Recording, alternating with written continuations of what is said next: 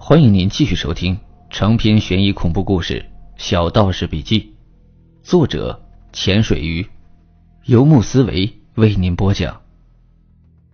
师傅小声说：“哎，别吱声，我没事。”说着，一把推开我，转过身子，真的跟没事人一样了。我是大为疑惑呀，师傅，您是不是有病啊？要不咱先回去歇着。我很为他担心。还以为他有什么暗计，毕竟已经是六十多岁的人了。这里不是说话的地方，以后再说。酒疯子冲我使了个眼色，示意我不要再过问了。曹大富并没有注意到酒疯子的异常，见我和酒疯子嘀嘀咕咕的，就笑着说：“你们师徒商量好没呀？这尸体该咋处理啊？”酒疯子转过身对曹大富说。我也希望能土葬，这是人之常情嘛。倘若一般的僵尸处理过后土葬也是可以的，但是成了毛僵的尸体必须得烧掉。若是不烧的话，恐怕会再次成为僵尸啊！不管是土葬、火葬，还是你们自己拿主意，我只是建议火葬啊。九疯子已经完全恢复了正常。完全不像有病在身的人。曹大夫一听，立马说：“那就火葬，这事我做主了。万一再成了僵尸，那可是要出大乱子的。前面死了一个丁大胆，咱们曹家文不能再出事了。”曹大夫是曹家文的村长，在曹家文可以说是名副其实的土皇帝。虽然不是一言九鼎，但是也可以钻权独断，他说什么那就是什么。很少有人会反对。先前听九疯子说土葬可能再次变成僵尸，村民们心里面都有些害怕，纷纷都支持火葬，就连死者的亲属也不反对了。他们也担心土葬之后变成僵尸。葬时，那麻烦你给查个日子，看啥时候火葬合适啊？到时候一把火烧了干净。曹大富说。九疯子说。既然决定火葬，凶尸就要立即处理，以免节外生枝。骨灰下葬的时候再举行葬礼不迟。在九疯子的建议下，村民们连夜把女尸抬到了村外。九疯子念了几句咒语，一把火把尸体给烧了，然后让吴大愣把骨灰抱回家去，设置灵堂供奉三日之后下葬。回到学校后。我的心里面很不安宁，没想到九疯子把我带到曹家湾，短短的几天时间里，我的世界观完全发生了改变。我不仅在曹家湾里面看到了无法解释的灵异现象，还亲自看到了僵尸，这让我对未知世界既充满了好奇，又有一种说不出来的恐惧和敬畏。我们还要在曹家湾住几天，因为师傅还得负责骨灰下葬。和灵魂超度，用师傅的话说，送佛送到西。如果仅仅是把尸体给烧了，不为灵魂超度的话，反而会种下恶果，惹上怨气。因为僵尸是排除在六道之外的孤魂野鬼，阳间不接受，阴间去不了，不能进入六道轮回，必须要做法事超度才行。这种事儿，赵六娃那个半吊子肯定做不了。主家也不会再去请他，所以师傅得善始善终。虽然除了僵尸，我心里面还有很多的疑惑。刚好这几天闲着没事师傅又开始督促我背夹子。我笑着说：“师傅，那些东西太枯燥了，我已经倒背如流，给我教点实用的吧，比如捏个咒、施个法啥的，以后也好给你打下手啊。不然再遇到僵尸……”我可帮不上忙啊！九疯子嘿嘿一笑：“你小子不帮倒忙就不错了。上次差点把我给害死，是要教你一点有用的了，不然带着你都是个累赘。”师傅，那就教我点厉害的法术吧，像你那样一脚能把僵尸踹飞的那种，太牛逼了！我想起九疯子一脚把僵尸踹到鸡窝里的情景，实在是太霸道了。酒疯子说：“你小子还没学会爬就想站起来走，那是真神上身，可不是随便能玩的。你现在根基太浅，也根本请不来神。就算真把神请来了，上一次身，恐怕你娃子几天都下不了床啊！啊？难道请神上身还有副作用啊？哼，你还是老老实实的把底子给打好再说。还要记住一点，嘴不能太馋，狗肉、蛇肉、乌龟肉、乌鱼肉、红焰肉、牛肉都不能吃。不是吧，师傅？这么多肉不能吃，为什么呀？我是一个吃货，一下子进了这么多肉，心里面有些不忿。酒疯子一脸严肃的说：“因为这些动物灵性大，在灵界等级较高。如果吃了这些动物的肉，终生不得学习道法。若是学道之人犯了戒，或是误食了这些肉，也会被破去法术。”终身修为毁于一旦呐！我一听，心里面咯噔了一下呀。看样子以后吃东西得注意了，这么多东西不能吃，倒是少了不少的口福。但是想想还有很多肉可以选择，又觉得没什么了。小子，把手伸过来，我看看。酒疯子向我命令：“师傅，给我看看，我这辈子能不能发大财？”我乖乖的伸出了手，还以为师傅要给我看手相。我呸！你以为我给你看手相啊？入了行就是修行，心存善念，莫问前程。我是看看你有没有仙根。师傅，那我能成仙吗？成个屁的仙，不坏良心都不错了。酒疯子笑骂的说着，然后又让我把大拇指。藏进四指，用力攥紧拳头。我试了一下，感觉怪怪的，特别的别扭。师傅摇了摇头说：“不行啊，差得远。想要学法术，先从基本功练起，先练雷掌的手法吧。”雷掌？什么是雷掌啊？是不是可以通过手掌发出雷电啊？我立马兴奋了起来。九疯子说：“雷掌是我们通俗的说法。”全名叫五雷天罡正法，也叫掌心雷或者五雷掌，就是说法不一样而已。学好了，不但可以驱邪治病，还可以除魔降妖，威力惊人。但是能学成的人很少，因为习练此术有很高的风险，心术稍微不正就会伤到自己，所以很多人都不敢练。不知道你有没有这个胆子呀？练啊，有什么不敢练的？人固有一死，或轻如鸿毛，或重如泰山。为练雷掌而死，感天动地，死得其所啊！我是初生牛犊不怕虎，血液里有着极端的冒险基因。九疯子说：“好，我就是喜欢你这股豁得出去的个性。修道之人不可畏首畏尾。”从今天起，你就按照我刚才教你的手法，把大拇指长进四指，用力握紧拳头。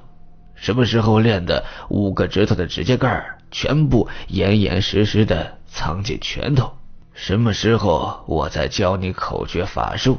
这是五雷掌的基本功，掌心握的就是天机，发功的时候感天动地。如果基本功不行，拳头攥的不严，泄了天机，学了法术也不灵啊！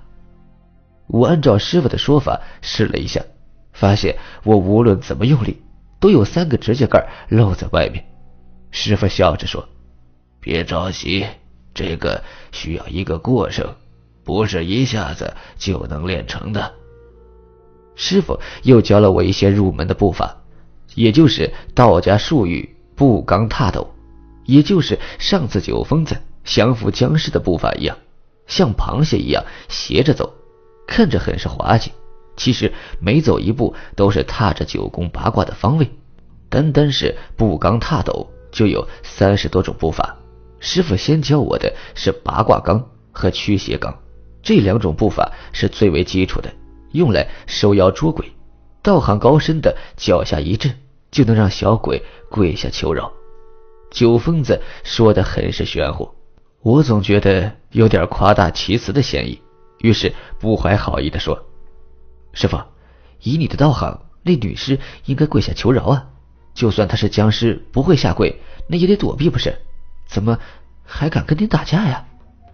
九疯子怒了：“你小子就是个睁眼瞎！你以为那僵尸有那么大能耐？”就算他是毛将，也不过是行尸走兽而已，如何敢和我打斗？他是被人操控的，要不是我暗中做法把那人斗败，你能一把豆子撂倒僵尸？本集故事就为您讲到这里，感谢您的收听，让我们下集再见。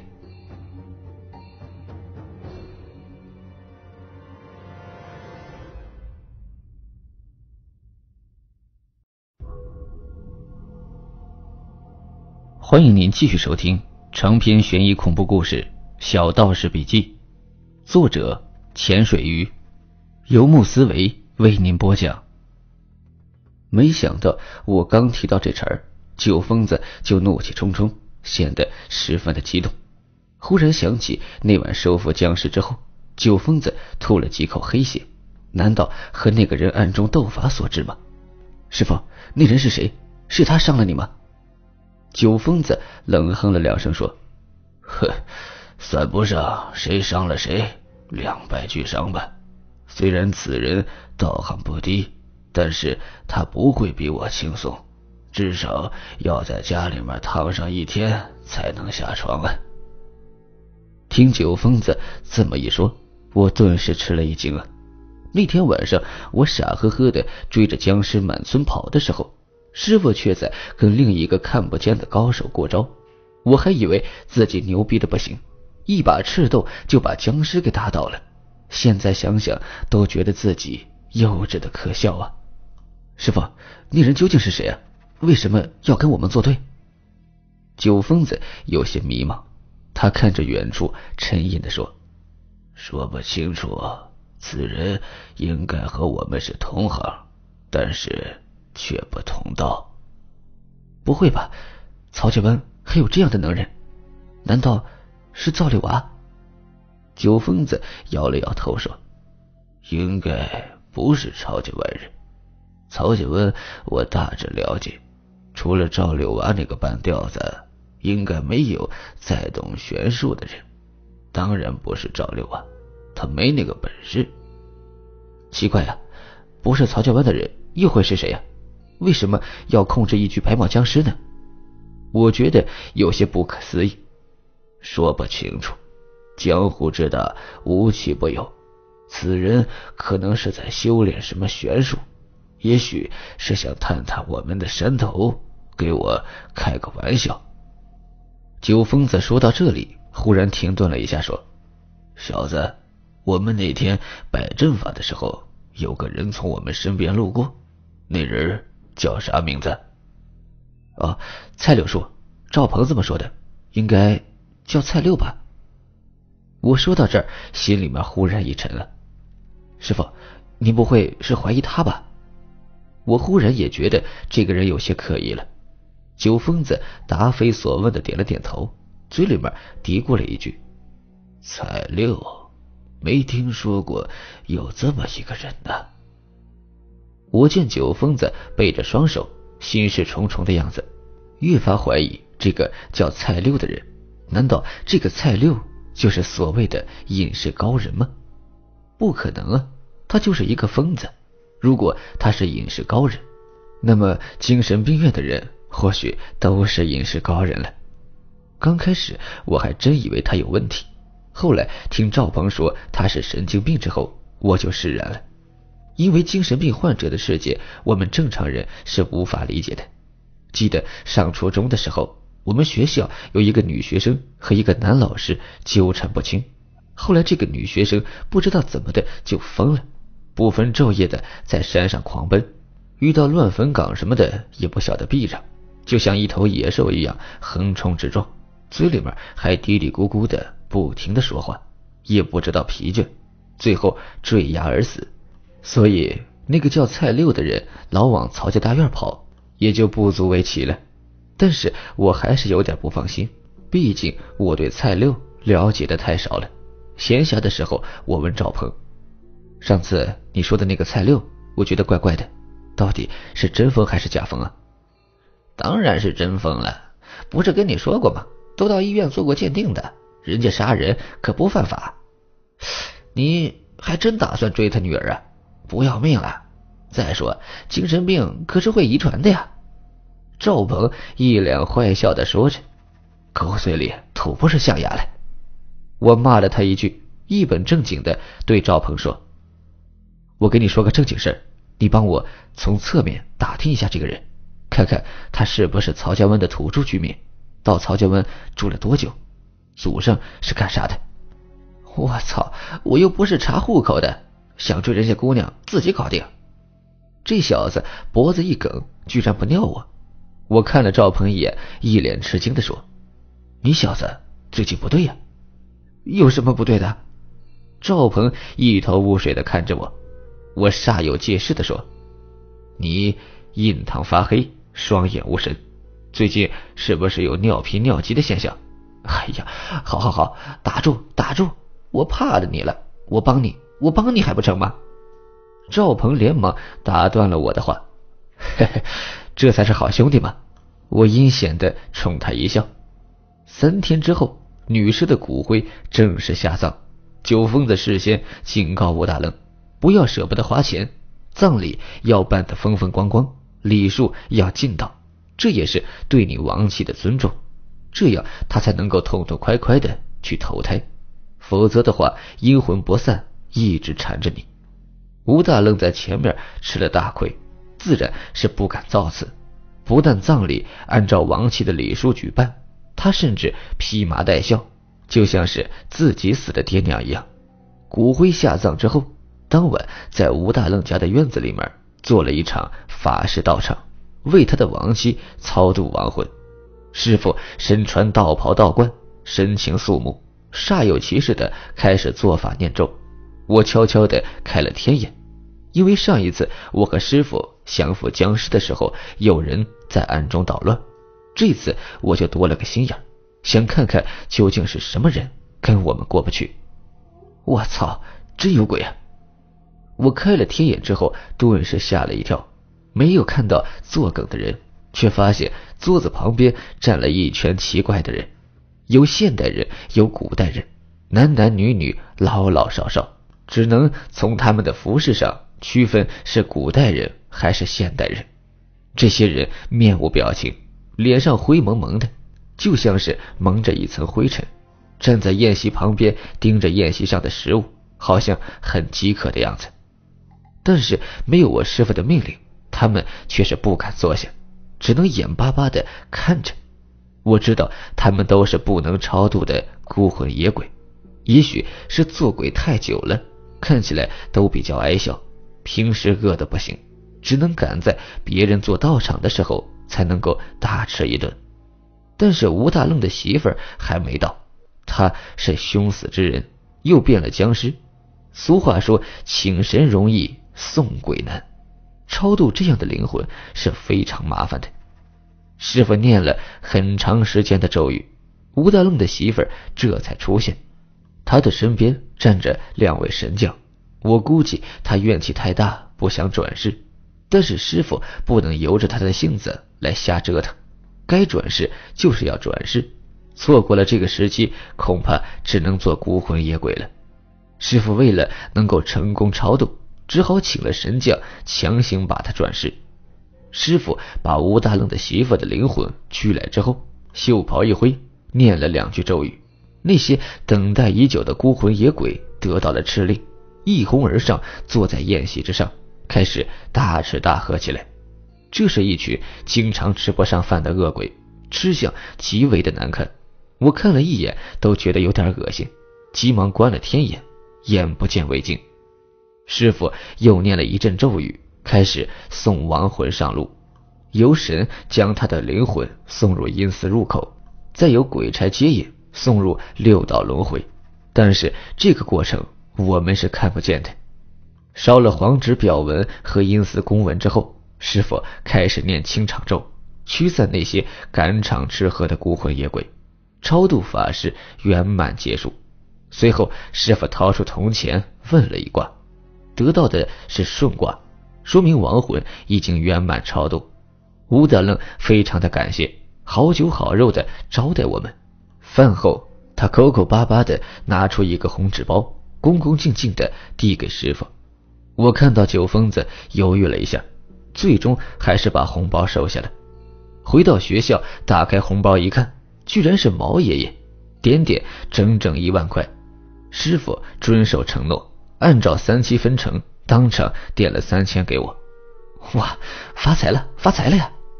我高兴的大叫。说实在的，这钱来得太快了。师傅说：“瞧你那出息，这点钱也叫钱呢。”本来我没打算收他的钱，曹家湾那地方不是有钱人的地儿，他既然要给我，也不嫌少，就拿着吧。这还不少啊，咱不到三个小时挣了一万，不少了。我很实诚的说。师傅笑道：“你小子，真是没见过钱，以后就指着你收钱的，针尖大的眼界，怎么收钱啊？”我有些不好意思的说：“ 师傅，你说该怎么收钱？我听你的呀。”说实话，长这么大，我真没见过什么大钱。当年在外面打工，累得累死累活的，一个月最多也不过是两千块钱，真是汗颜。实话跟你说吧，我们这一行是没有价钱的。遇到有钱的暴发户，做个道场，收他十万二十万也不多。遇到没钱的，就当是咱们做善事了，分文不取也行。这个分寸你自己拿捏。师傅，你放心吧，以后收钱的事交给我。我喜欢毛爷爷，但是绝对不贪污。我嬉笑的说道。这次本来到曹家湾练胆的，没想到除了练胆之外，还意外的收获了一万元。酒疯子很满意，他认为我有了跟僵尸过招的经历。就不用再练胆了，毕竟鬼魂都是虚影幻象，远没有僵尸这般可怕。于是第二天，我们就准备打道回府，离开曹家湾。谁知道第二天早晨，我们还没来得及动身，曹大富就来了。他大概是见识到九疯子的真本事之后，有求于他，但是支支吾吾的，又不好意思直说。见了我们，他很热情的给我们发了一支烟。装作没事一样闲扯了起来，直到把一支烟抽了三分之一，他才转入正题。张氏，有件事情想请你帮个忙，不知道你最近忙不忙啊？我知道生意要上门了。曹大富可是曹家湾的首富，他这村长就是花钱买的。虽然比不上外面的有钱人，但是在曹家湾绝对算是富人。而且此人为人贪婪，若不是曹家湾实在太穷，他早就暴富了。我绝对不能便宜了他。嗨，我师傅可忙了，找他的人排队都排到下个月了。你没看见我们正要回去吗？有个大老板上个月就约好了日期，定金都下了，二十五呢，必须得去一趟呀。我准备狠狠的敲他一笔，于是随口胡诌。曹大富显得有些失望和不甘心，他用期待的眼神看着酒疯子。酒疯子微微一笑说：“村长，有啥事你说嘛，都是乡里乡亲的，外面的人也可以放一放。”张氏真是好人呐，放心吧。虽然说乡里乡亲的，但是一码归一码，不可能让您白忙的，钱不会少你的。我虽然不能和外面的大老板相比。但是请先生的钱还是有准备的。曹大夫生怕师傅不会诚心帮他，所以一开口就表明心迹，是会给钱的。酒疯子沉吟了一下，说：“你先说说啥事吧。我们为人办事不光是为了钱财，能帮你肯定会帮的。如果帮不了，你给再多的钱也没用。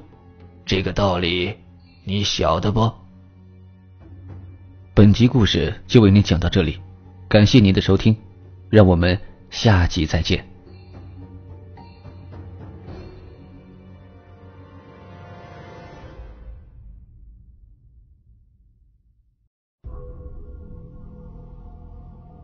欢迎您继续收听长篇悬疑恐怖故事《小道士笔记》，作者潜水鱼，游牧思维为您播讲。我晓得，我晓得。曹大富连连点头。这是师傅对付有钱人的一贯手段。有钱人往往不知道尊重人，看不起手艺人。我师傅就是要让他们明白，钱不是万能的。师傅见曹大富一脸的恭敬，就笑着说：“我丑话都说在前头了，能帮你就帮你。如果真的帮不了，你可别怨我。哈，帮得了，帮得了。其实没啥大事。我家老汉岁数大了，明年都七十三了，是个关口，恐怕不好啊。”曹大夫说到这里却不说了。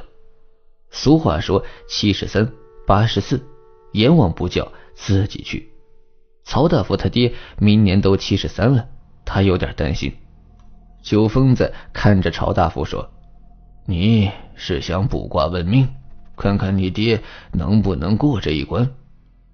曹大福说：“嘿嘿，他啥时候走，我倒不关心。真要有好的风水，我现在都愿意送他走。只是没有好风水。”安不下阴宅，我着急呀！万一哪天我爹一生气走了，住哪儿啊？哼，你可真是有孝心呢！九疯子嘿嘿一笑。好的风水可以荫佑子孙，这我不也是为子孙后代着想吗？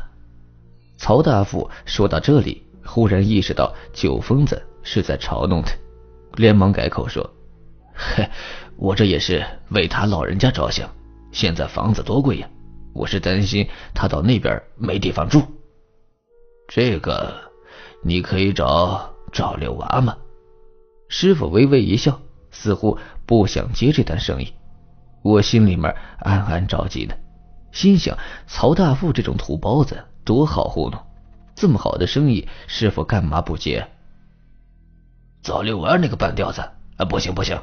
万一他把我爹给日鬼到什么养尸地，那就麻烦了。曹大富把头摇得像拨浪鼓一样。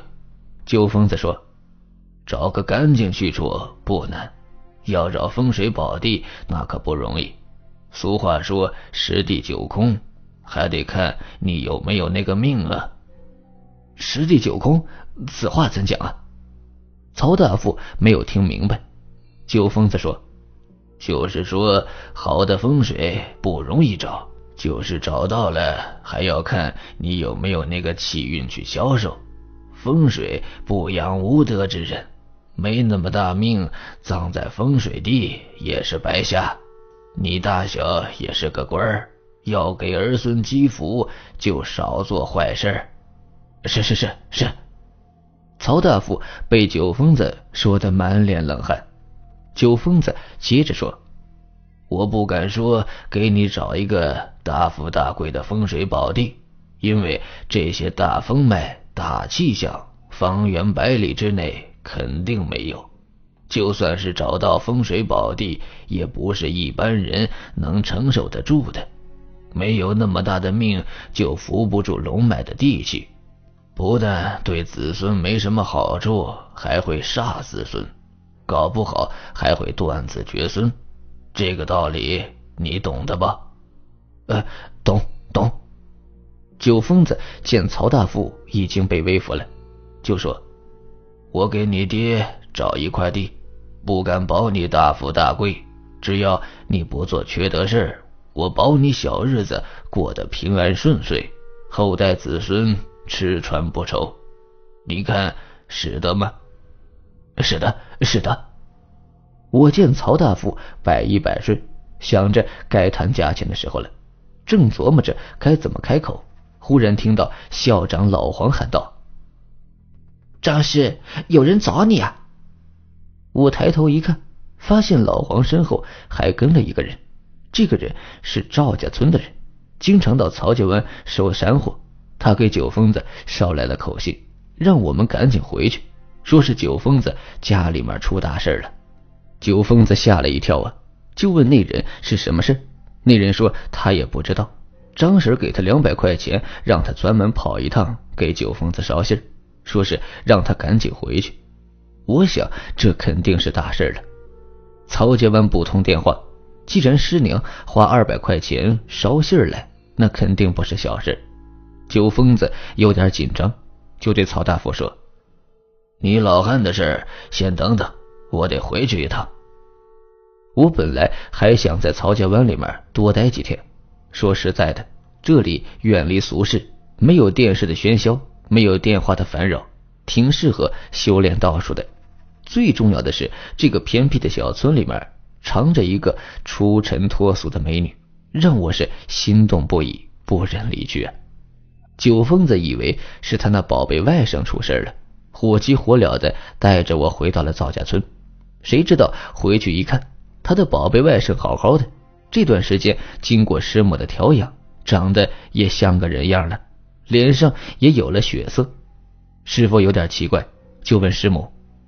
你发啥神经？急三火四的把我找回来干啥？师娘笑着说：“不是我找你，有一个外地人找你。我说你不在，进山去了。他让我打电话把你找回来。我说山里面不通电话，他好像挺着急的样子，塞给我二百块钱，让我进山把你找回来。我一个老婆子哪能跑那么远的山路？刚好有个山贩子要进山。”我就把二百块钱给他，让他给你捎个信儿。我师傅左右看了一眼，说：“人呢？早就走了。那那人叫什么名字？我忘了问了。对了，他说他给你打电话了，让你回来给他回个电话。”师傅急忙打开电话，翻看了一下来电记录，发现未接电话一大堆，也搞不清楚是哪个电话。算了，真有事他会再打电话的。师傅索性也懒得管了，毕竟每天打电话找师傅的人太多了。师傅并不是每个电话都接，很多人都是慕名打电话咨询，问这问那的。尤其是一些女性客户，其实没有什么事情，甚至有人情绪不佳、心神不宁，半夜三更的都要打电话问个凶吉。时间长了，师傅也是不厌其烦，干脆就不接他们的电话。师傅接的电话都是对方打过三次以上，说明真有事情才会接的。哎呀，这人谁呀？酒疯子放下电话，嘴里面嘀咕了一句，心里面还是不踏实。管他是谁，走了一天山路了，先烫个脚解解乏吧。师娘打来一盆热水。让师傅烫脚，她才不关心外面的事情，只关心自己丈夫的冷暖。晚上，师娘弄了几个菜，炖了疯子最爱吃的猪蹄儿。师傅让师娘拿来茅台酒，让我陪着他喝上两盅。你这师傅当的真可以啊，自己喝酒不说，还让小兵陪着你。老酒疯子，准备再带个小酒疯子呀，也不怕人家笑话。师娘白了师傅一眼，没动身。酒疯子说：“去去去，把酒拿来，我就剩下这点爱好了。你看你这毛病就是改不了。”酒疯子瞪着眼睛说：“我都喝了一辈子酒了，你让我怎么改？”原先不了解酒疯子的时候，觉得他经常醉醺醺的，印象很不好。后来才发现，他其实并不贪杯。但是每顿饭前都要喝点白酒，一个玻璃杯，大约装上一寸高的白酒，最多就是二两，喝完也就不喝了。但是做法事的时候，绝对是滴酒不沾。他这么爱喝酒的人，已经是很节制了。不知道为啥师娘还要数落他。师娘拿来了茅台，笑着说：“你师傅啊，啥都好，就是改不了喝酒的毛病。”年轻的时候喝酒逞能，喝出过不少事儿来。你看他那指头就是教训。小兵啊，你可千万别走他的老路。我瞥了一眼酒疯子的左手，发现他的中指少了半截。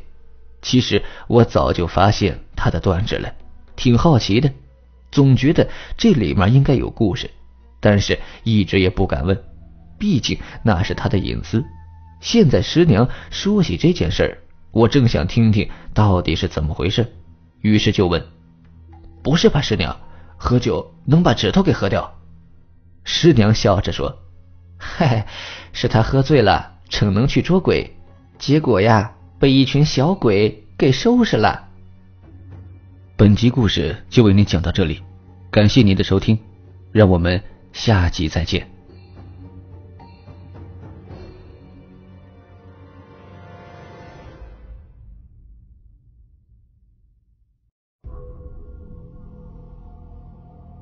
欢迎您继续收听长篇悬疑恐怖故事《小道士笔记》，作者潜水鱼。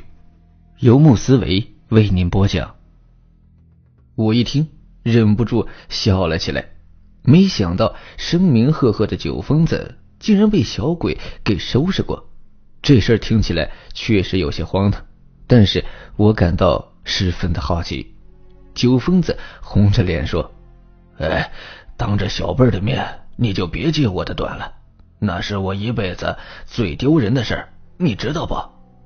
酒疯子今天心情不错，脸上虽然有些尴尬，但是并没有真的生气。师娘笑着说：“我觉得你应该把这事给小兵讲讲，别让他以后跟你有样学样。你给他做个反面教材，不挺好吗？你要不讲，我讲。”酒疯子有些为难的说：“哎，这都是陈芝麻烂谷子的事了，讲他干啥？”也不嫌臊的慌，我这老脸可挂不住啊！师傅，前车之覆，后车之鉴呢，谁没个马失前蹄的时候？这事您别不好意思，我陪您喝两杯，您给我讲讲。我见酒疯子一脸难堪，好奇心是越来越重。本来酒疯子还羞羞答答的，不愿意多说，结果让我几杯酒灌的自己说了起来。原来这酒疯子十六岁的时候到处就很厉害了。那时候年少轻狂，不知道天高地厚，也没有什么同情心。见小鬼作乱，一般道士捉了小鬼，采用的都是软硬兼施的手段，一手拿糖果，一手拿鞭子，迫使他妥协。只要不再作乱人间，也就放生了，并不会为难小鬼。但是酒疯子玩心很大。他捉了小鬼，要么装进水瓶，用五色线扎住瓶口，让他做水牢；一高兴还放到灯火上去烤，让他尝尝煮饺子的滋味；要么就是用五色线把小鬼绑了，吊起来几天几夜不管他，直到他玩够了才放生。只要是落到他手里的小鬼，都被折腾的惨不忍睹。几年下来。酒疯子得罪了不少小鬼，自己却是浑然不觉。有一天，他帮主家处理了一桩麻烦事，晚上主人盛情招待，他一高兴喝了不少酒，然后醉醺醺的回家。走了几步，就觉得是头重脚轻，看四下无人，于是就蹲在地上画了个符，拘来了四个小鬼，抬着他走。这就是传说中的鬼抬轿。如果在偏僻的荒野里面看到有人在空中飞，见了之后要假装没看见，千万不要惊叫，否则被抬的人会被摔死。鬼抬轿呢有两种，一种是懂玄术的人有急事要赶路，拘来小鬼抬着自己代步；还有一种被小鬼抬着去受死，这种人被小鬼给绑架了。完全处于昏迷不醒的状态，必须要放鞭炮或者雷管才能把他给弄醒。酒疯子已经不是第一次捉小鬼抬轿了，以前他玩过，不过玩这个游戏一定得遵守禁忌，那就是在五更之前必须把小鬼给放了，否则五更时辰一到，小鬼就不听话，会扔下主人逃跑。这时候遇山就是山，遇河就是河。搞不好会被摔死，因小鬼是阴灵，见不得阳气。五经一到，阳生阴降，小鬼必须得躲起来。但是酒疯子喝得晕晕乎乎的，早就把这个禁忌给忘了。四个小鬼抬着他飞一般的赶路，只听得耳边呼呼风响，犹如是御风而行。酒疯子好不得意啊，嘴巴里面哼着小曲儿，朦朦胧胧的听到一声鸡鸣，五更到了。四个小鬼不等酒疯子的敕令，扔下他各自逃命。不巧的是，这时候他们正在过一条河，酒疯子扑通一声掉进河里。幸亏呀，这河水不深，酒疯子被冷水一惊，立马醒了过来。好在是有惊无险。这就是酒疯子第一次喝酒误事，但是呢，他并没有汲取教训，依然是死性不改。小鬼捉着，小酒喝着，小日子过得挺快活。有一天，他帮主家办了事情之后，喝得大醉而归。但是天色已经黄昏，他走到了一个三岔路口的时候，忽然觉得后面人影一闪，可是回头一看，什么都没有。酒疯子还以为自己眼花了，揉了揉眼睛，继续往前走。走到第二个三岔路口的时候，又觉得身后有人影闪动。再回头看的时候，还是没人。难道又看眼花了？酒疯子醉眼朦胧，他实在分不清是不是有人，就继续往前走。走到第三个路口，又是这样，总觉得有人在后面跟着他。酒疯子这才意识到不对，他本想动用法术看看是什么情况，但是酒力发作，醉得太厉害，只好加快脚步，踉踉跄跄的往前走，希望快点回家。酒疯子走到一片荒郊野外的时候，忽然忍不住了，蹲在地上呕吐了起来。等他吐够了，才发现他面前站着一群人，灰蒙蒙的，看不见脸。作为道士，他立刻意识到自己遇到鬼了。如果在平时，他会立刻把这些小鬼给抓了。可惜呀，今天不行，他差点把苦胆都给吐出来，浑身一点力气都没有。别说抓鬼了，连抓蚂蚁他都没劲儿了。他急急忙忙的往后面看去，没想到后面也跟着一群灰蒙蒙的人，前后的路都给封死了。一群小鬼把他给团团的围了起来，酒疯子大吃一惊啊，急忙在手心里面画了一个避鬼咒，嘴里面破口大骂：“你们这些孤魂野鬼，找死是不是？赶紧给老子闪开，否则老子让你们好看！” 娃娃还想整我们啊？一个老鬼嬉笑的说道：“这小子上次把我给整惨了。”上次我被他吊了三天三夜呢，我被他关了三个月的水牢，还被当饺子煮。你们都是轻的，最惨的是我，我被他用香火烫的全身是疤，惨不忍睹啊！一群小鬼不但不怕酒疯子的法术，还围着他控诉恶行，这让一向自负的酒疯子慌得不行，怎么法术不灵了？降服不了这群小鬼呢？嘿嘿，这小子的法术啊不灵了，大家还等什么？揍他呀！老鬼一声令下，那些小鬼们一拥而上，对着酒疯子一阵的群殴。算了，不打了，我们给他留个全尸，把他抬到山上扔下去摔死算了。有一个鬼提议，众鬼纷纷赞同。七手八脚的把酒疯子抬到山顶摔死，顿时把酒疯子的酒也给吓醒了。他奶奶的，这可不是鬼抬轿，这是要弄死他呀！酒疯子无论如何也不能让他们抬走，但是各种法术都不管用。酒疯子一急之下使出了不需要什么灵力的千斤坠，赖在地上不肯起来，任凭这群小鬼怎么拖也拖不动。拖不动就掐死他吧！小鬼们又改变了主意，张牙舞爪的就要掐死酒疯子。酒疯子急得没办法呀，只好采取了最后的保命绝招——自残。他砍掉左手，一截中指，用鲜血向小鬼们的脸上洒去。这是在特殊情况下采用的保命招数，用自己的血来破除邪气。那些鬼魂们知道厉害，就像老鼠一样尖叫着跳开躲闪。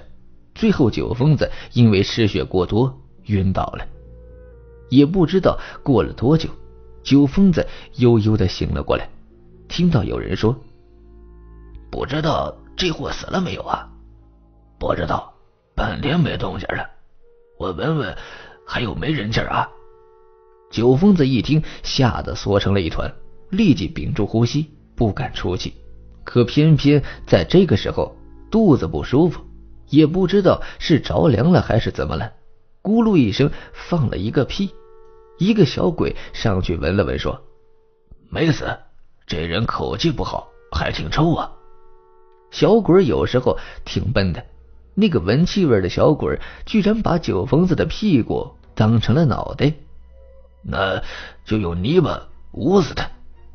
老鬼一声令下，很多泥巴向着九疯子的屁股扔了过来，也不知道有多少人在向他扔泥巴，这就是俗称的“鬼撒土”。渐渐的，九疯子觉得身子越来越重，四肢开始麻痹无力，两眼犯困。再一次失去了知觉。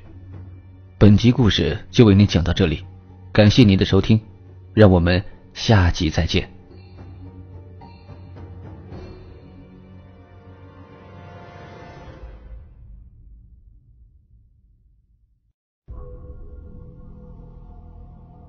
欢迎您继续收听长篇悬疑恐怖故事《小道士笔记》，作者潜水鱼，游牧思维。为您播讲。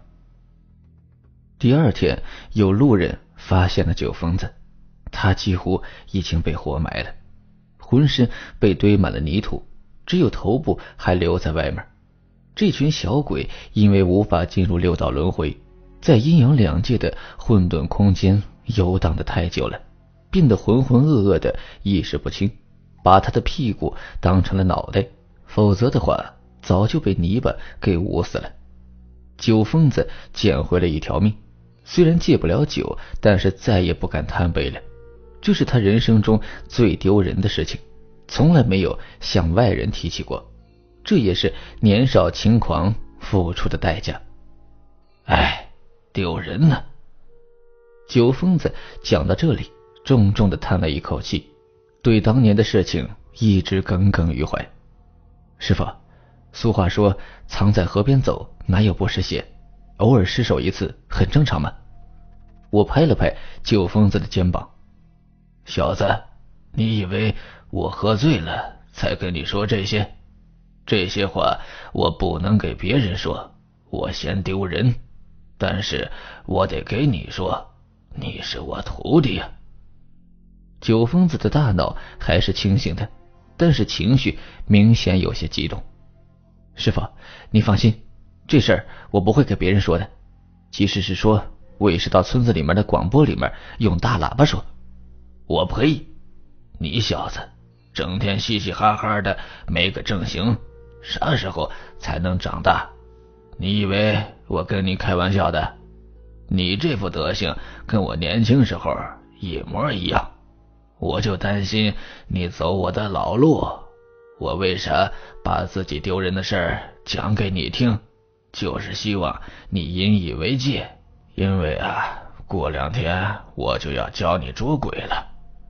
九疯子一脸严肃的说：“太好了，师傅，到时候我也捉两只鬼玩玩，让他们抬着我兜一圈。”我兴奋不已啊！呃，呸！九疯子端起酒杯，正准备小酌一口。闻听此言，把一口白酒喷在了我的脸上。你小子真是记吃不记打，鬼是能随便玩的吗？不是所有的鬼都是坏的，他们是一群阴间不收、阳间不爱的游魂，他们是有善恶之分的。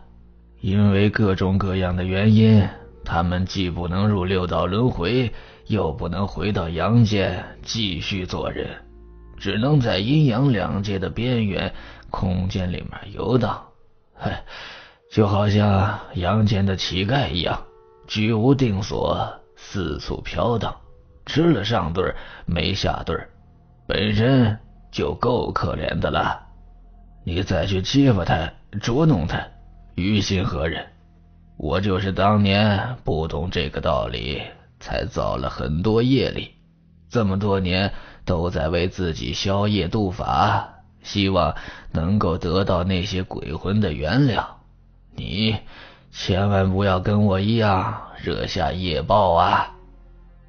九疯子的话犹如重锤一样敲在我的心上，使我幡然醒悟，感到汗颜。原来我对幽灵世界的认识。如此的肤浅，鬼只不过是生命的另一种存在方式，而我总是用另类的眼光去看待这个我不了解的生命体，本身就是一种歧视。师傅，谢谢你为我开悟正道啊！我由衷的感谢师傅，让我懂得了这个道理。小子，你总算是说了一句人话。师傅嘻嘻一笑，又开始没正形了。酒桌上，黄毛一直不怎么说话，只是很安静的听着，显得有点腼腆。我看了黄毛一眼，觉得有些不适应了，和原先的反差太大了。我不知道以前那个叛逆怪异的黄毛是他的本性，还是现在这个胆怯羞涩的黄毛才是他的本性。总之，搞得我有点晕乎。兄弟，来喝一杯。我冲黄毛扬了扬酒杯。黄毛腼腆的笑着，想端杯子却不敢，而是看了酒疯子一眼。九疯子认真的看了看黄毛，说：“这才像个人样，不过还有点胆怯。中邪的人都这样，还得好好养几个月才能恢复过来。”奇怪的是，直到第二天，那个人也没有再给师傅打电话，师傅也就不再关注这件事了。就开始教我驱鬼术，就是民间俗称的捉鬼，这是道士的入门功课。师傅告诉我，捉鬼不是目的，是为了解决问题，要有菩萨心肠、雷霆手段，所以自身的功夫一定要过硬，否则捉鬼不成，反被小鬼羞辱。即使面对恶鬼，也要心存善念，想办法去感化他，而不是毁灭他。不要因为他的恶而起杀心，若是顽固不化，继续作恶，才可以替天行道。九疯子给我讲了一番大道理之后，我才知道，无论是道士还是和尚，很少对鬼怪妖邪下狠手。有的道士甚至一辈子没杀过一个小鬼。所以九疯子教我捉鬼的第一课就是少杀慎杀，不可滥杀。接下来几天，师傅开始教我捉鬼的口诀、符咒，还有灵符。师傅告诉我，我们的法术能量包含三个方面：第一是祖师的能量，第二是恩师的能量，第三是自己的修行能量。所以，修行者自身功夫不高，又遇到紧急情况，只要诚心上报祖师，亦可收到临时救场的作用。怪不得道士施法念咒的时候都要先喊祖师爷，原来是抱大腿啊！哈哈，我明白了。我嬉笑的说着：“我呸！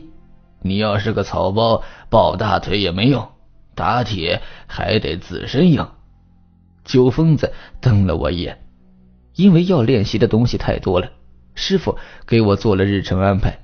早晨起床洗面净手之后，开始练习步法。三十六种步罡踏斗，一遍下来至少需要一个半小时。接下来练雷掌手法半个小时，其余的时间除了子时和午时练天眼之外，每天还要到祖师爷的神像面前跪拜半个小时，燃清香一炷，诚心诚意的观想、念咒、诵经，不可昏沉打瞌睡。其余时间自己安排。但是师傅让我看书，因为熟练掌握了八大天干、十二地支和六十花甲之后，基本上就可以看懂易经八卦了。师傅让我在看的时候要学会掐关节，在手掌上排天地盘。这玩意儿主要是算命，最简单的就是查黄道吉日，习炼精神的可以预知生死富贵。但这只是一种传说，有没有那么玄乎，我不好说，因为我本身对这个东西兴趣不大，也可能是因为我太年轻的原因。我十九岁大一辍学，在社会上混了两年，跟九疯子当徒弟才二十一岁，让我看这些老古董，确实有点看不进去，总觉得这些神算和江湖算命的神棍差不多。大多是忽悠人的。我感兴趣的是雷掌，这东西虽然也是传说，但是不像算命那么模糊，而且极具挑战性。能练成就练成了，练不成就是练不成，没有那些是死而非的说法。可是雷掌的手型太难练了，想要把五个指甲盖全部攥进掌心，不见天，在我看来比登天还难。所以我随时随地都在练习雷掌的手型。师傅说开天眼容易，要想把天眼功练到精深不容易。这时候就需要特殊的气场去练功，也就是极阴和极阳之地。师傅，啥叫极阴和极阳之地啊？我颇有点不耻下问的精神。九疯子说：“极阳之地好找。”只要是正午时分，找一处阳光充足的开阔地即可练功。倒是这极阴之地有点麻烦。极阴之地不好找吗？我有些不解。不是不好找，而是需要胆量。因为是晚上子时练功，在家里练肯定不行。因为不是极阴之地，练了也没什么效果。要想有良好的效果，就要找那种阴森的地方，甚至大白天太阳都很难照到的地方。从那里走一趟，就感到脊背发凉，浑身起鸡皮疙瘩。这就是极阴之地。这种地方往往古白参天的乱坟岗，曹家大院就是个好地方。我去，别提曹家大院了，上次。差点把我吓成神经病！我一听曹家大院，心里面就有抵触。说实话，我刚见僵尸的时候也吓得要命，可是后来追着僵尸满村跑的时候就不怎么怕了。相比曹家大院，我宁可跟僵尸战斗，因为曹家大院太诡异了，尤其是曹老爷那如影相随的感觉，想想都是做噩梦啊！九疯子奇怪的看了我一眼，说：“小子，你咋越长越怂了？都敢跟僵尸斗，怎么还怕曹家大院啊？” 师傅，这不怪我呀，我也不知道怎么回事，从小就怕坟墓。被九疯子一阵嘲笑，我觉得有点不好意思，就胡乱的编了个谎。九疯子说：“那好，我给你找个没坟墓的地方练。”咱们村有个地方适合你。我想没坟墓的地方，即使是再怎么阴森，也可以忍受，因为不会产生联想。于是呢，就高兴的说：“好啊，好啊，就找这种地方。咱们村有这种地方吗？”“有。”“啥地方？”“村东头老槐树底下。”“啊，老槐树下？”我吃了一惊啊！这个地方我太熟悉了，那棵老槐树至少有几百年的历史了，遮天蔽日的，大白天那里都晒不到太阳，即使是盛夏骄阳如火，老槐树底下依然跟装了空调一样凉飕飕的。但是没有一个人敢在树底下乘凉，因为这棵老槐树上有很多吊死鬼，每朝每代都有人在这个树上吊死。几百年来，谁也搞不清楚这树上究竟吊死了多少人。前朝的事情就不说了，最近几十年，这棵老槐树上就吊死了三个人。五十年代，致使青年下乡的时候，有个女知青被人说搞破鞋，为了自证清白，在这个树上上吊了。七十年代的时候，本村有个大姑娘，因为情感问题，也在这棵树上上吊自杀了。八十年代的时候，有个大城市来的女教师，说是来我们村里面支教，结果来了三天，莫名其妙的吊死在老槐树上。有人说这棵老槐树不太吉利，邪气，干脆砍了算了。有人说砍不得，几百年的老槐树了，事关赵家村的风水命脉，如果把它给砍了，肯定要出大事儿争议到最后还是不了了之了，因为这棵老槐树一直长到现在。小时候，村里的老婆婆、老妈子们一再的嘱咐我们这些不懂事的小孩，千万不要去老槐树底下玩，因为每到黄昏擦黑的时候，经常有人看到老槐树底下有个女人拿着绳子在那里游荡，有时候会唉声叹气的，见有人路过。立刻躲在槐树后面藏了起来，那就是吊死鬼再找替身。本集故事就为您讲到这里，感谢您的收听，让我们下集再见。